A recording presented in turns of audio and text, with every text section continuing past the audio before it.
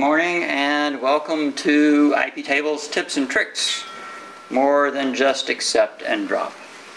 I'm Gary Smith. I work at the Pacific Northwest National Laboratory, uh, which is in Richland, Washington. That is on the other side of the Cascades where we get maybe five inches of rain a year. If it rains a quarter of an inch in a day, it sets a new record. Um, I'm from Texas, and in Texas, we consider rain an inch an hour. So, you know, when they say it's raining in eastern Washington and western eastern Washington, I go, ha ha, you don't know what rain is. Um, as I mentioned, I work at the Pacific Northwest National Laboratory, which is a laboratory of the Department of Energy. We do lots of sciencey stuff there. I work in EMSL, the Environmental Molecular Science Laboratory, which as you might guess we do environmental and molecular science. Here are some of our happy researchers doing their stuff. Uh, we have a very large supercomputer there and my task is the security of that supercomputer and all of its supporting infrastructure. So, how do I think about security since that's what I'm tasked with? Well, I think about security by using what I have termed the five golden principles of security. And they are these. If you were in my talk yesterday, you know that PowerPoint, bless its pointy little head, scrambled this slide. So I made sure today that this slide was right.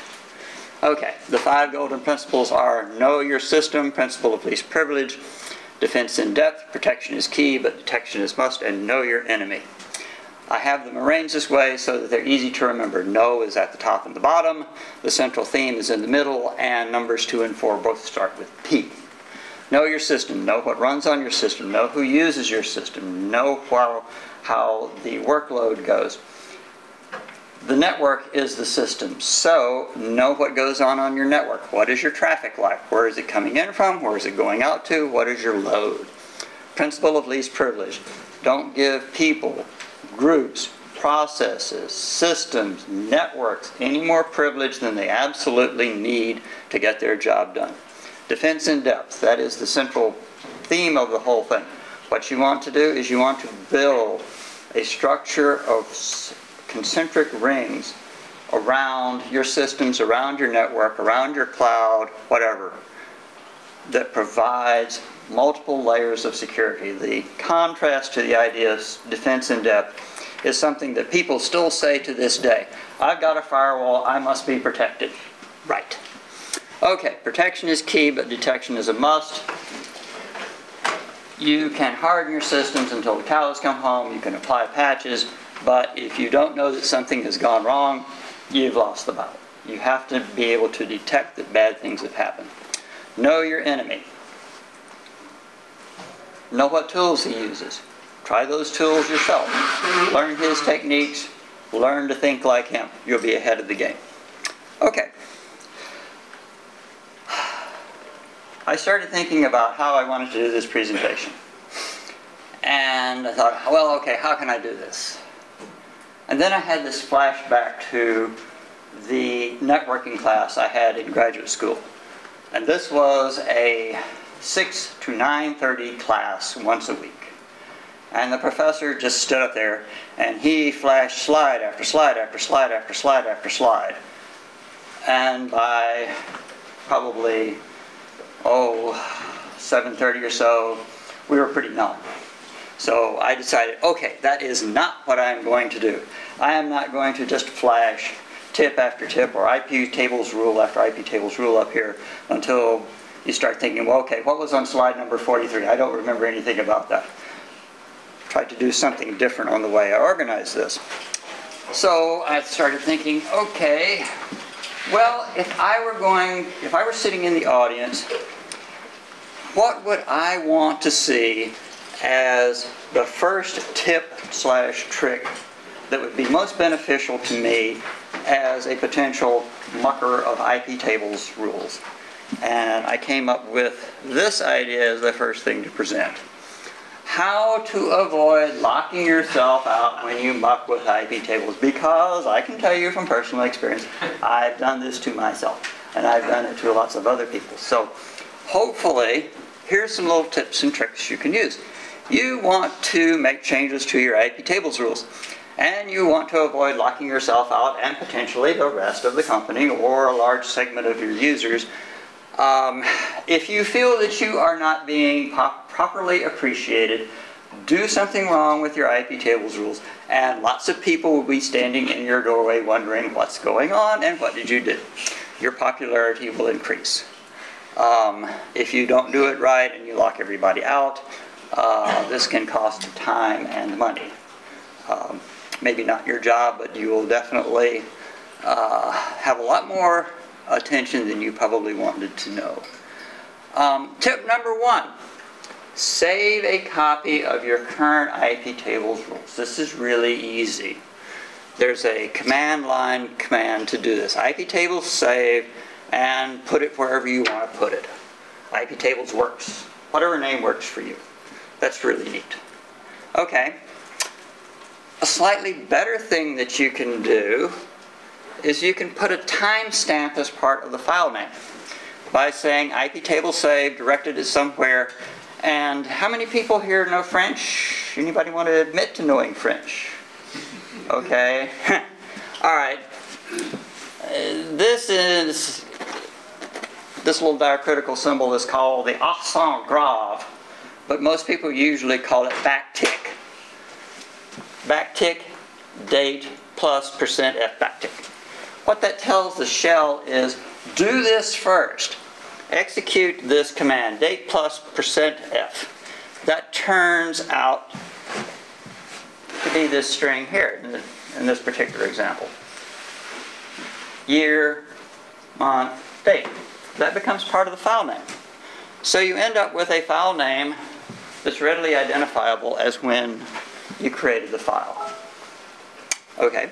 So it becomes real easy to restore it. IP tables restore coming from that file name. Poof. You now got your IP tables back before they were. Um, you can also expand on this a little bit and put get the timestamp with um, hour and minutes in it if you're making if you're really getting granular on your changes. Um, I haven't had to do that, but you can. Uh, another possibility that you can do is that you can make a symbolic link between this dated version and something called IP Tables Works Latest.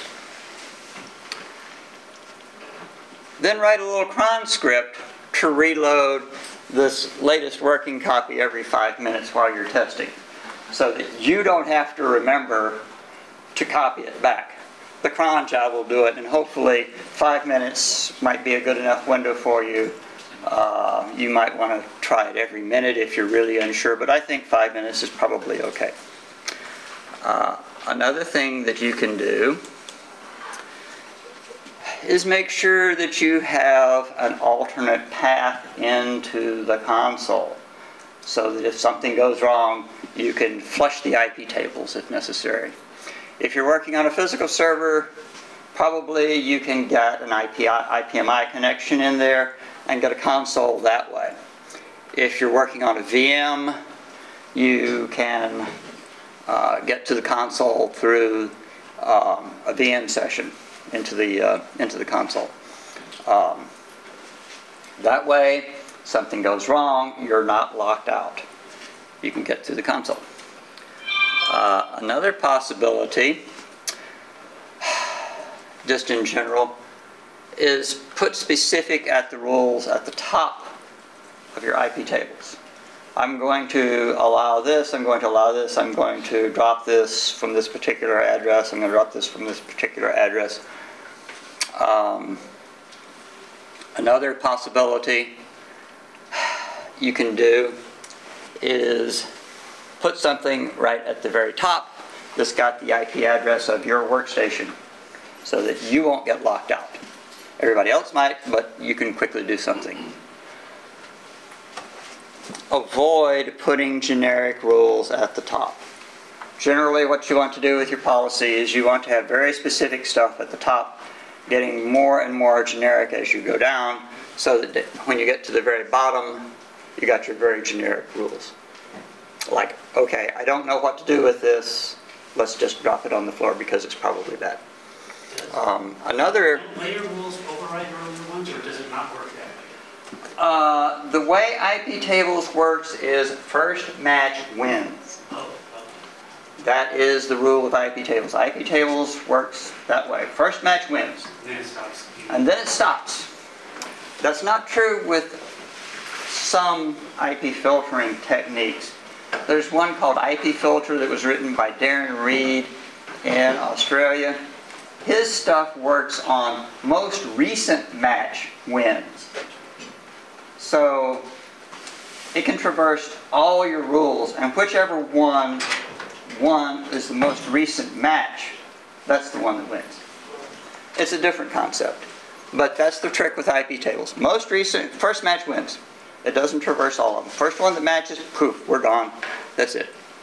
Um, Should, should that be accept instead of drop? um, First one when you're trying to lock, not lock yourself out, uh, yes. because that would lock you out, That would lock me out. Okay. Sorry. Okay, very good. just in case. Yeah, that needs to be accept. That does need to be accepted. you don't necessarily want to drop yourself out. Yep, you need that needs to be accept. Okay. That's a good thing we have a console. Pardon? Good thing we have. Well, that's why you have the console, right? Absolutely. Oops, I screwed up. I locked myself out. Well, okay. Fat finger, change, quick. Um, if you're working with systems that have more than one NIC, specify what NIC, what, what ETH or EN0 or whatever it happens to be, so that you get more specific. Um, if you specify which interface you're coming in on, you won't necessarily block yourself out if it's on E ETH1. Um, more tips for not blocking yourself out. Um, whitelist IP addresses at the top of the rules. Um, this is very effective. Uh, everybody else, not so much. Um, okay. There we are. Input your IP address, accept. Um, always put that as the first rule, and remember, I is insert, A is append. I sometimes forget that and make a mistake, and it's off to the virtual console to fix it. Another tip, know and understand what your policy does. Surprisingly, that's the first rule, know your system, know what's there. Um, if you know what your policy does, that's half the battle right there. Um, if you understand what your policy does, your life will be a whole lot easier. If you have to, draw a flow chart. Think through what it does, map it out. And I can tell you from personal experience, what the policy does and what it's supposed to do are frequently two different things. I remember going and looking at the policy for another group and thinking about it and going, oh, okay, so this is what it's supposed to do. Well, hmm, nope. But everybody of said, oh, this is what it's supposed to do. No, that's not what it was doing, so I ended up having to redo the whole thing. So this is a, if you have to look at somebody else's rules, that's an important thing to remember. Okay. Here's another scenario. You want to set up a workstation with a restrictive firewall policy. What can you do? Well, first step, set your default policy as drop. A lot of people don't do that. They don't set their default policy as drop. What they do instead is they let the default policy be accept on everything and then put drop rules at the very bottom. Well, that's okay, but you may not be getting exactly what you think you're doing. Um, by setting your default policy as drop, you punch holes through for what you're going to accept so you know what is going in or going out. Here's that uh, default policy that I came up with. Filters the table we're going to do this with. And then we set input, drop, input forward, and output to drop. So if we don't, if we don't specifically allow it, it goes on the floor. That being said, we have to start punching things through. So if a connection is established or related to another connection on input or output, we're going to let it through. So it's going to immediately fall through if this has been one that we've accepted. We allow traffic across our local interface. Always a good thing to do. This is very high up in the table, so it won't have to traverse very many rules.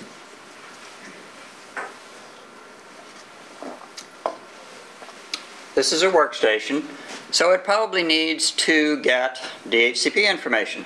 It needs to get an IP address, it needs to get a net mask, it needs to get a broadcast mask, it may get a host name. So we're going to allow UDP port 6768 out so it can get its information.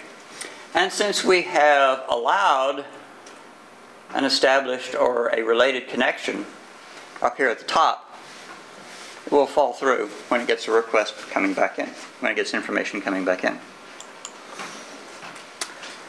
Um, allow inbound SSH. You as a system administrator are probably going to want to get into the box and maybe make some adjustments to it. So allow SSH to come in. Allow outbound email. Port 25, we're going to allow the thing to send email out.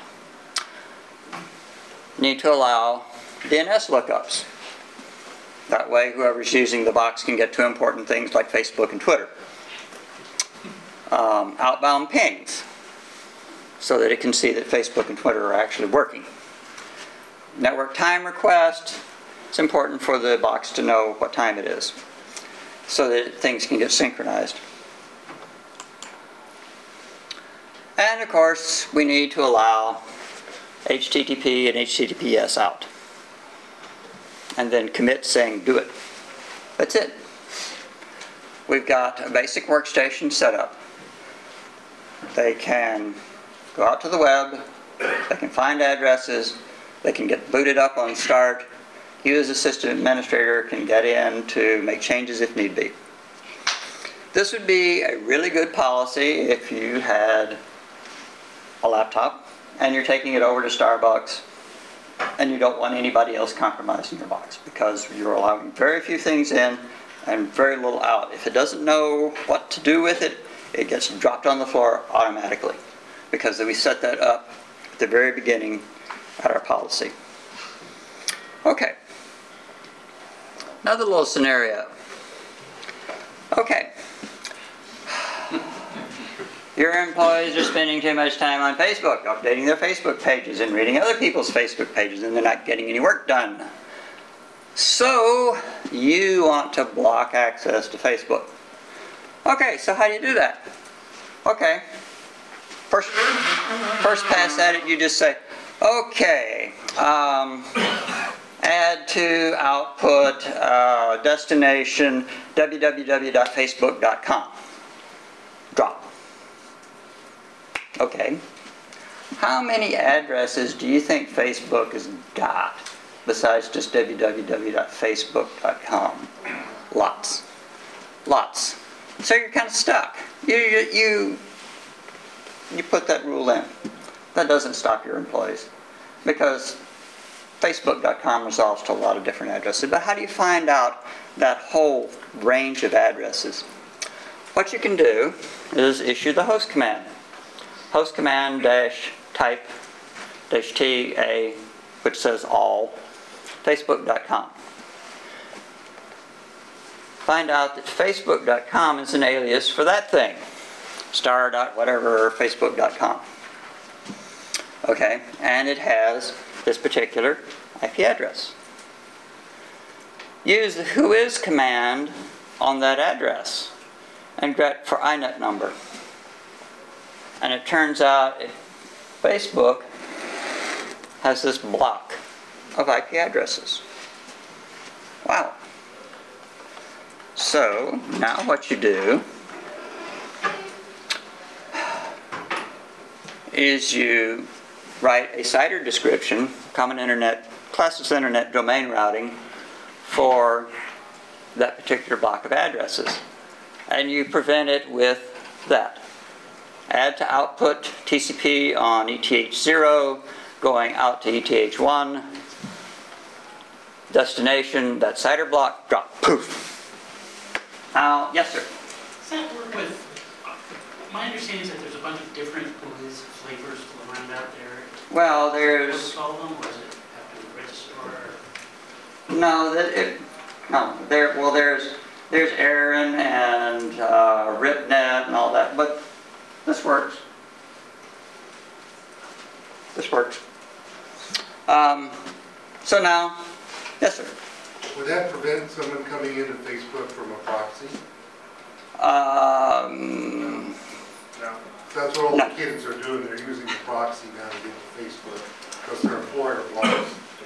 blocks. um, depends on the proxy and where it's placed. Yeah. Okay, now your employees, they can't get to Facebook. Well, guess what? Uh, you get a bit of backlash from your employees about not getting to Facebook. So you decide that you're going to relent a little bit and you say, well, okay, we're going to let you have access to Facebook at lunchtime. So you can actually use IP tables to open up that access by time. Um, so what you do, say I'm going to allow HTTP and HTTPS to come in on ETH0, go out ETH1, and I'm going to load the time module and I'm going to set it to start at 12 and I'm going to stop at 1 p.m. and the destination is that whole CIDR block and I'm going to say accept. So anything less than 12 noon is going to get dropped. Anything after 1 is going to get dropped. But anything inside that time range, IP tables will let go through. So now your employees are happy, they can get to Facebook, and maybe they're getting some work done otherwise. But this is really cool. You don't have to write, you only have to write one rule to make this work. Another possibility that you can use this with. Um, let's assume that you've got some downtime in the morning that you need to not have your systems available. Um, you want to cut the network traffic off, say between 2 and 3. This way, using these two rules for both TCP and UDP, you can limit your network activity so that you don't have to worry about anything coming in uh, while you're doing your maintenance schedule. Okay. Um, here's a very common thing if you're connected to the internet. I have to deal with this all the time. A bad actor is attempting to DDoS my web server or your web server. One of the things that you can do is limit the number of connections a single IP address can have. Instead of the bad actor going out there and slamming you with thousands of them over a very short period of time, you can limit how many they can have. Um, I'm going to add to input that's TCP, and I'm going to specify that it's multi-port because I have 80 and 443. And I'm going to specify that I'm going to use the connection limit module, and I'm only going to allow 20 connections per IP at one time. That will cut them off. It will also throttle your web server down some. Maybe your web server is just getting a lot of traffic. Maybe, maybe it's legitimate traffic, but you want to throttle it down. You can use this same technique. Another possibility is that you can limit the number of connections an IP can make over a period of time. For instance, I'm going to limit 80 and 443 to at most 10 connections in 100 seconds. That requires two rules. Okay. This is the latch that sets it so when a new connection comes in over these ports, IP tables will make a little marker that says, okay, this IP address came at this time I'm going to remember that. This one can be the trip for that latch. So that if the IP address has had more than um, 10 connections in 100 seconds, it will drop it. IP tables has set that up in the, in the table when the connection has come in, and it counts the number of connections that's been made by that IP address over that length of time you've set. And if that has happened, poof, away it goes. Question, Yes, sir. in that top line where it says D dash D, I assume that's supposed to be dash dash D. Uh, yeah, that's an unfortunate consequence of PowerPoint trying to help me.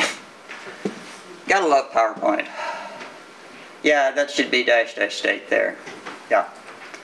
Um, thank you. Um, I have an example here using um, HTTP, HTTPS. You can use this for other ports as well. Uh, for instance, SSH. Um, I have servers that are out there that researchers around the world can SSH into and uh, do their do their stuff on the supercomputer. And so consequently, I frequently get hit up by all of these brute force SSH attacks. And I used similar sets of rules to these, except instead of using ADN 443, it was just port 22 SSH. And I put these in while a brute force attack was going on. Um, and it, looking at it over time, it ramped up, was real high, and immediately when I put these rules in, in addition to that connection limit one that we saw earlier, it just plummeted cut them off at the knees. It works really good for rate limiting against your brute force attacks. Okay. Um, So this seems like it would be a good default rule to have for almost anybody. um, yeah, uh, it would be a good possibility for anybody to have, um, but uh, that depends on what your your policy and what your risk profile is. But um, uh, I have it on quite a few of my servers that are on the internet, and it works really, really well. Okay. Um, how about monitoring IP tables? Is there something like IP tables mon or a top for IP tables or something like that? Well, no, there isn't, but there's other things that you can do. Um, you want to monitor your IP tables in a, uh, in an- a manner analogous to uh, top. Use the watch command. Enclose the command that you want to do. And it uses curses, so every five seconds it will run this command and put it up on the screen. Um, now, I, I, this is important. The number of spaces here, there are five spaces in between those zeros. And what you do is you get something that looks like this. And boy, did that come out bad. yeah, that came out pretty bad, didn't it? Okay, well, you never know until you get it on the big screen. But anyway, the reason for that grep command is that we are end up throwing away the connections that are, the, the rules that are not being active. So this only shows you the rules that are in play. And it shows it to you by the particular table, by the IP addresses. These are the ones that are getting rejected down here. Okay. Um, there's another Perl script you can get from Perl monks.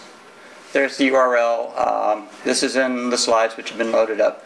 And it does a much more comprehensive display. And let's see how this one comes out on the big screen. Oh, that's somewhat better. It does some nice things like rules that are firing get highlighted. I tried to catch this when a drop rule was firing because if a drop rule fires, it's red. So this is a very nice display to see what's actually hitting.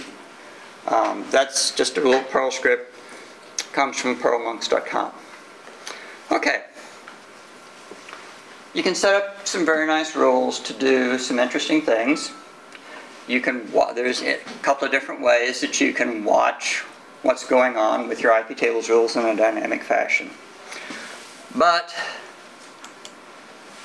reporting on things is the final frontier, or at least I think so.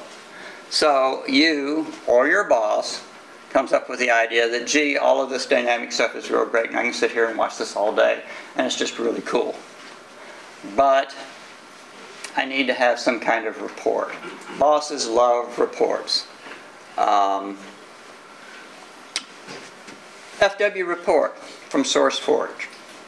This takes your IP tables logs that are going into varlog messages or varlog syslog and creates reports for you. For instance, you can create a daily report or you can create a monthly report. It allows you to, um, here's where I put on my sales support sort of hat and say it allows the system administrator to free up substantial time, maintain better control over security of the network, and reduce un- unnoticed attacks. Well, maybe, maybe it does all that. Um, but it's certainly good for generating a report over a long period of time, for instance, a week, a month. And I have an example. And that's actually a little bit better. Um, shows you where you're getting hits from. Uh, if it can, it uh, goes back and resolves it to a name. Um, seemed like there was something I wanted to say about that, but okay. Um, visualizing IP tables logs. Your boss comes to you and he says, you know, it's getting time for the monthly ops review, and it'd be really nice if I had some great graphic to throw in there that shows how, um, how our firewall is keeping us safe. Um, turns out there is something that you can do. Um, if you were in my uh, presentation yesterday where I was talking about PSAD, the port scan activity detector, um, it has some wonderful capabilities built into it uh, for interfacing with GNU plot, but it also has the ability to create stuff for Afterglow and GraphViz to do IP tables logs. You point a PSAD at your IP tables logs from varlog messages, and um, you can create uh, output from that that's in a CSV format that you feed into Afterglow and GraphViz to create some really nice pictures.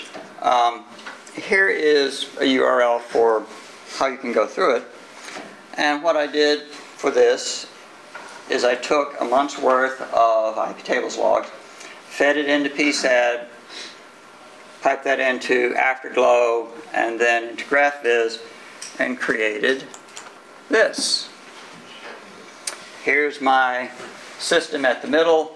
Here's everybody that's tried to attack it. The um, the light blue is TCP, the dark blue is UDP. Very busy, very busy little system. Everybody's going after it. Yes, sir. What's on the red? The red, those are the bad guys. Those are the bad guys that have tried to get into it. Those are the IP addresses associated with it. Yeah. Hey, it's it's busy. A lot of people are after it. Okay. Um, this is all coming in. You can do one for going out. This is everybody that it tried to talk to, and um, blue is ICMP because that's what was being blocked. How are we doing for time? Oh, boy, I'm really thought I was going to have uh, this was going to be longer. Okay. Um, there's lots of things you can do. to keep from locking yourself out. Um, There are lots of tips and tricks for IP tables. Probably could have made this long, I could have made this longer. Um, For instance, one of the things that you can do, uh, you can block by country code. Say that you don't want China to come in. You can block by country code. You can block, for instance, Russia. You can block by those. Um, There's, there's other things that you can do for blocking. For instance, uh, you can say, I'm not going to allow any Windows operating system to connect to me. You can actually do that with IP tables. Um, This is just some of the tricks, little tips and tricks that I found for doing things with IP tables, all the way from blocking things to visualization to monitoring. Yes, sir? Can you block by Windows version? Can you block by Windows version? Uh, as far as I know, no. So in other words, you want to say, I want to block XP? Yes.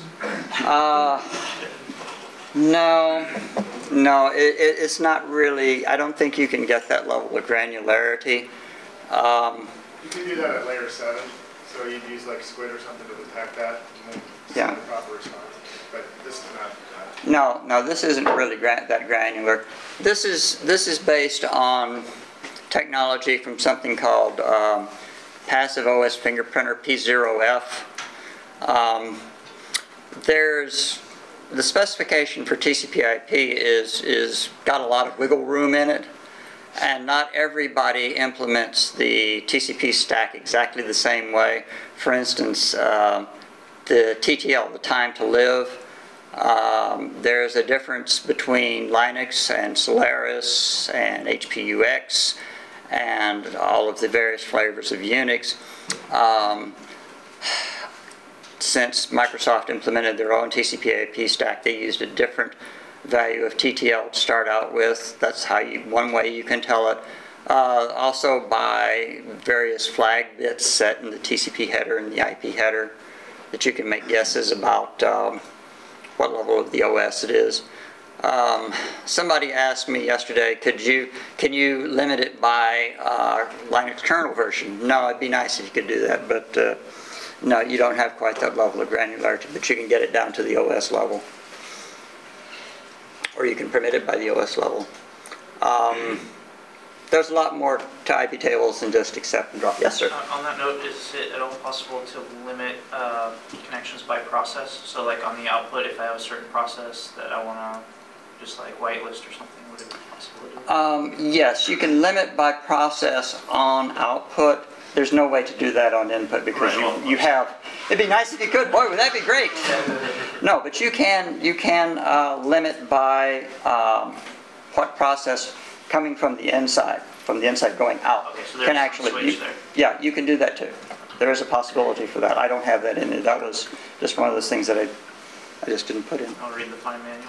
Well, um, you know, there's, there's so many different things that you can do with IP tables that it's, it's, that there's not like there's an IP tables book which has got them all in it. You kind of have to read the fine print and, and, and try what works for you. Like, like those rules that, that do the rate limiting. I came across that while I was looking for something else and I go, oh wow, I can use this for something else. I need to mark this, bookmark this and come back to it later.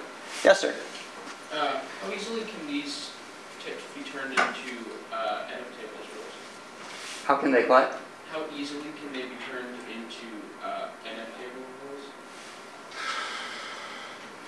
Um, I think that's, that's going to require human intelligence. Um, actually, he's brought up a, a good point. Did everybody know that IP tables is on its way out? Yeah. Um, IP tables will at some point be replaced by NFilter. Um, but there's still a lot of work to be done on that, so um, um, it's not going to go anyway anytime soon, and there's still going to be a compatibility layer in there at least for a while. Um, one of the things that I have always had a little bit of a concern with on IP tables is, um, well, let me back it up.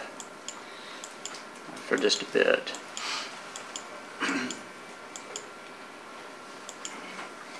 Um, I've always had a little bit of trouble with the rather baroque, that's B-A-R-O, B-A-R-O-Q-U-E, not broke as in B-R-O-K-E, baroque syntax for an IP tables rule. There's, it's pretty complicated. And InFilter hopes to get away from that. Um, another thing about IP tables is that there's multiple versions of these table manipulating programs. There's IP tables for IPv4. There's IP6 tables for IPv6. There's one for uh, manipulating bridge filter rules. There's another one for manipulating ARP filter. Well, why do you need all of those and which, which one do you pick to do what? Well, it's kind of complicated. That's one of the things InFilter hopes to do is to consolidate all of these into one program, one syntax to make it all simpler for you. So you can kind of think of InFilter as maybe it's like the Lord of the Rings, uh, one ring to bind them all and in the darkness bind them or something like that. Um, I'm keeping an eye on it because um, to see what happens. Uh, has anybody read Fred Brooks's book, The Mythical Man Month? Okay, you have, you have, okay, you have, okay. Do you remember a topic in there he calls the second system effect? Um, the second system effect, according to Fred Brooks, is, is a what happens when a group of people get together and they're going to make the next version of a particular product. They want to make it neat. They want to make it grand and glorious, and they want to do all the things that they weren't able to do in version 1.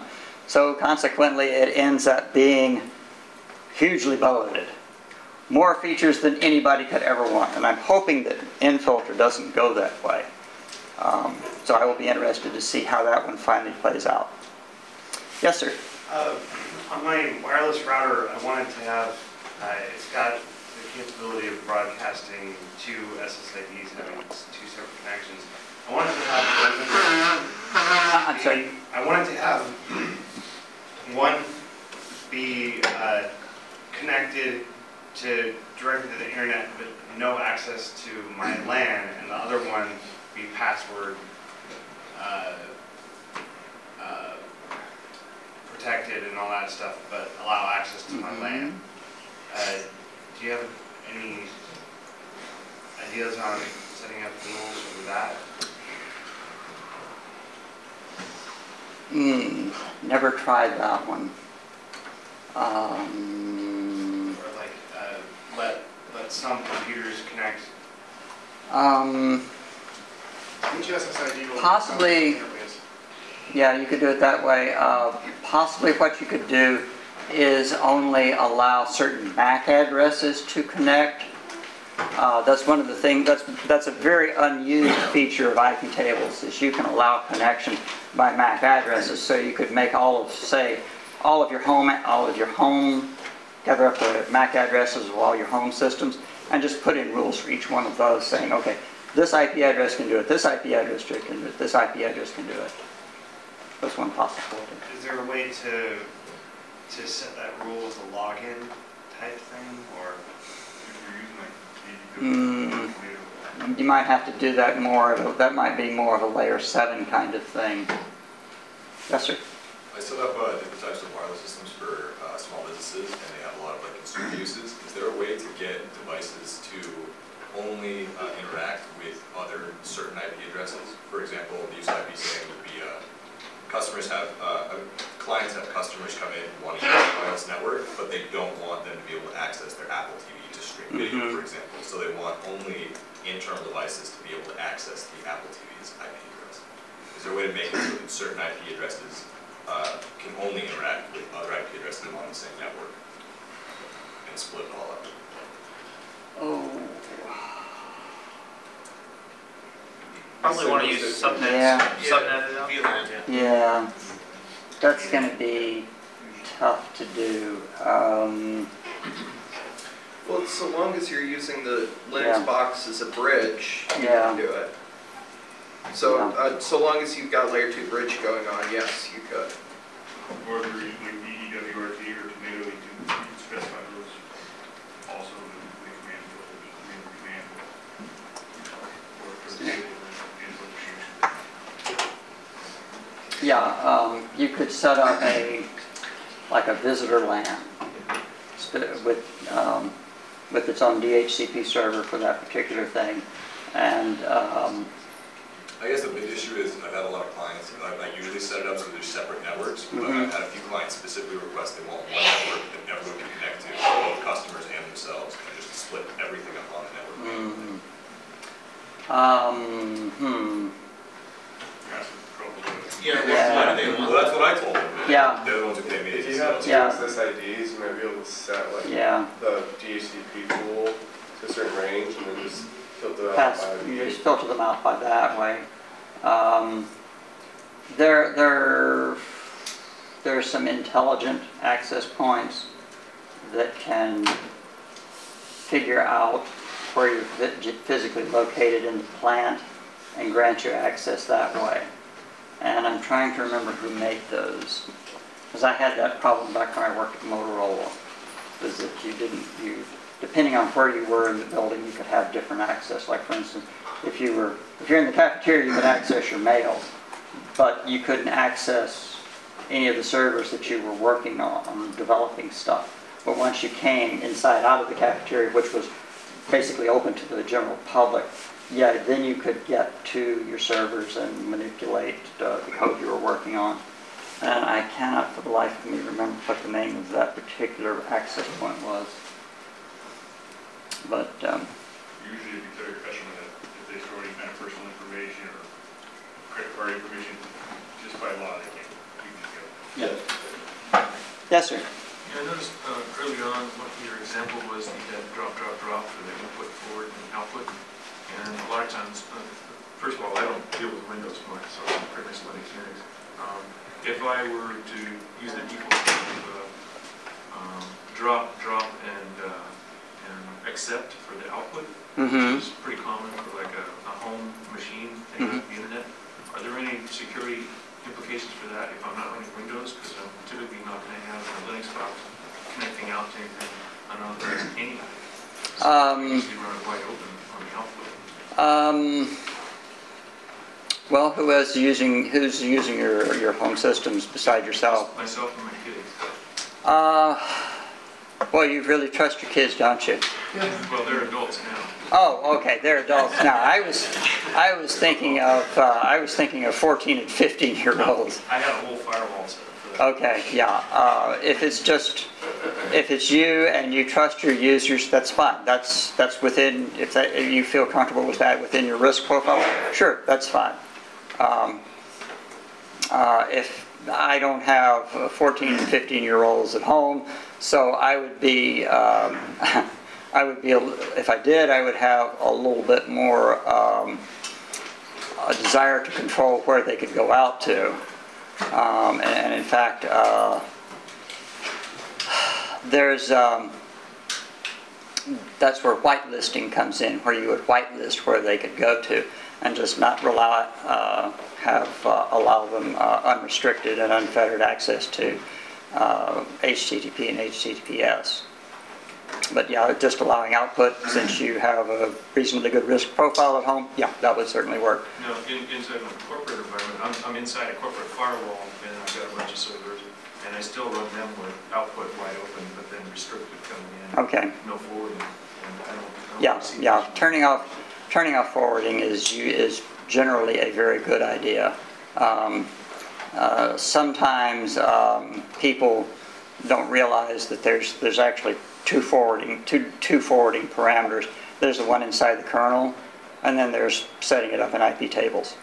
And what they do is, is they just say, okay, I'm going to turn off forwarding in the kernel through syscontrol, boom, okay. Well, that's, that's fine, but you can still do it through IP tables too.